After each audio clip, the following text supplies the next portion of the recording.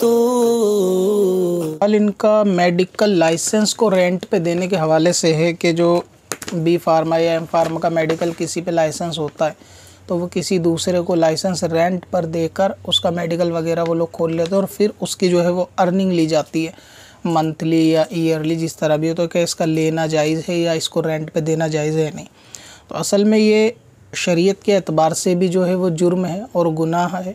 और दूसरा ये कि कवानीन जो मुल्क के होते हैं, उसके अतबार से भी ये जो है वो गुनाह है। किसी को मेडिकल लाइसेंस जो दिया जाता है, वो उसकी ख़ुद की सेल्फ़ क्वालिफ़िकेशन पे दिया जाता है। यानी कि ये बंदा जो है वो सेल्फ़ क्वालिफाइड है बी फार्मा मेडिकल या इस फ़ील्ड से रिलेटेड कोई भी स्टोर वगैरह खोलने के लिए उसकी एलिजिबिलिटी है, ये पर्सनली उसके लिए होता है, ना कि इसलिए कि वो उसको रेंट पे दे सके। और अगर फिर ये तहकीक के अंदर अगर मालूम चलता है कि फ़लाँ का मेडिकल जो है वो उस पर लाइसेंस नहीं है, बल्कि किसी से रेंटेड है, और फिर कोई ऐसी बात होती है तो फिर रिश्वत वगैरह का मामला या ज़िल्लत पर पेश होने का मामला भी होता है और फिर दोनों को सज़ा वगैरह भी हो सकती है। तो इस एतबार से भी कानूनी एतबार से भी मुल्की कानूनी तो ये जो है वो जुर्म है, यानी ये एक अपराध की श्रेणी में भी आएगा। तो इस एतबार से भी जायज़ नहीं लिहाजा मेडिकल लाइसेंस को रेंट पर लेकर लाइसेंस मेडिकल खोलना और या उसको रेंट पे देकर उसका रेंट वसूलना दोनों ये नाजायज़ है।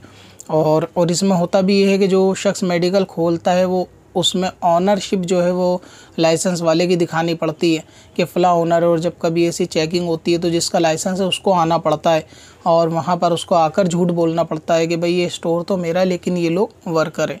तो यही रूटीन चलती है। हालाँकि ये चल रहा होता है आजकल। बहुत ज़्यादा आम है और चल भी रहा है और चेकिंग करने वाले इदारे भी इस चीज़ से वाकिफ़ हैं। रेंट पर जो है वो लोग इस तरीके की डिग्री या लाइसेंस देते हैं, लेकिन ये काम जो है वो जायज़ नहीं है। कोई भी नाजायज़ या गुनाह का काम अगर पूरी दुनिया में लोग मिलकर भी करते हों, या सब मिलकर उसको करने लगें तो भी वो जो है वो नाजायज़ ही रहेगा सबके करने से, या उर्फ़ में आम हो जाने से वो जायज़ नहीं होगा जब तक उसके जायज़ की सूरत जो है वो इकराम जो है वो बयान ना करें। कब से अपनी खताओं का शुमारा जाएगा।